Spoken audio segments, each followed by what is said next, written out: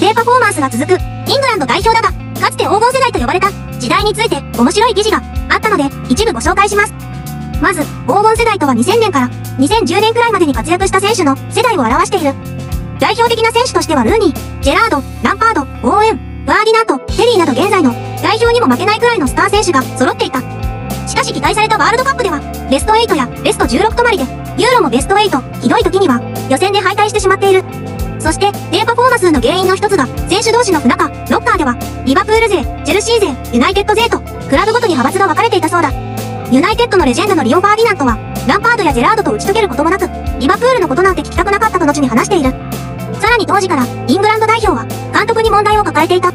ジェラード曰く、選手をはるかに凌駕する存在の監督が欲しかった。クロップやグアルディオラやモウリーニョのような、チームをさえ、はるかに超越した監督を欲していたようだ。